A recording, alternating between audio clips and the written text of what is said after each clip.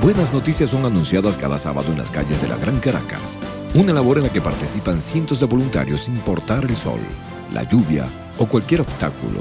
Están determinados a cambiar Venezuela, compartiendo el Evangelio de Jesús. Este 18 de julio, más de 44.900 personas recibieron este transformador mensaje en el Distrito Capital. Esta actividad, mira, muy reconfortante. De verdad que a través de una obra de teatro se muestra todo lo que estamos viviendo en el mundo en los últimos tiempos. Yo he vivido apartado mucho tiempo de Dios. Estaba pensando en volver, pero, pero bueno, tomé la mejor decisión. Si nuestro país no busca de Dios, difícilmente todo mejorará.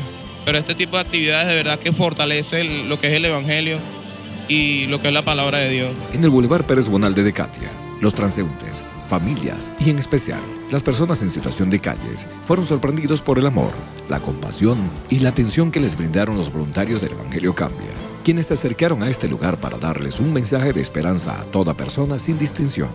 Le doy gracias a los hermanos del Evangelio Cambia porque me recibieron con amor, un amor que yo pensaba que no existía.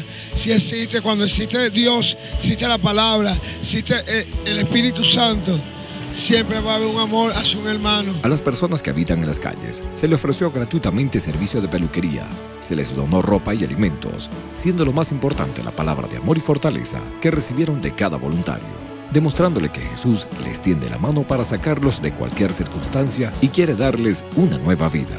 Este, ante todo los felicito porque sí, yo pienso que ahorita el camino que todos debemos seguir es, es este, pues el buscar a Dios, ¿no? Yo muy en lo particular los sigo ustedes no, no de cerca, sino en estos momentos así y todos los días a las 5, 5 y media de la mañana, pues de verdad que soy fiel seguidora de ustedes. Por su parte, cientos de familias que habitan en unos apartamentos en el sector Filas de Mariche en Petare conocieron el amor de Jesús gracias a la presencia del Evangelio Cambia, que siempre dispuesto a dar, sin esperar, recibir a cambio, les brindó una palabra de esperanza, siendo un gesto que los vecinos agradecieron profundamente está bien esto, esto que hacen ustedes aquí, para que los niños vean cosas buenas, pues, y, tengan un futuro bien, pues, ¿no? Que venimos de portarnos algo mal y hemos cometido errores, como ustedes mismos lo dicen, pero hemos recapacitado y queremos cambiar. Y que ustedes estén aquí es una obra muy bonita. Por eso los llamé y por eso pedí su, su ayuda, pues su cooperación a que a los niños adquieran otro conocimiento. Los niños y niñas del Hospital Dr. Ángel Larralde, en el estado Carabobo, festejaron su día junto a Jesús y al Evangelio Cambia. Este 16 de julio, las áreas infantiles de emergencia, hospitalización y por primera vez oncología se llenaron de alegría con una actividad especial que contó con la entrega de juguetes y cotillones, la compañía de superhéroes y princesas, obras teatrales y coreografías. Fue importante porque es una ayuda este, espiritual que la palabra de Dios es de, gran valor en estos momentos que están hospitalizados para que ellos sigan teniendo fe este, y esperanza en su recuperación. Los padres, familiares y personal médico agradecieron esta visita, reconociendo la recuperación de los infantes, una gran labor que desde hace cinco años llegó a este hospital para cambiar vidas, para bien y para siempre.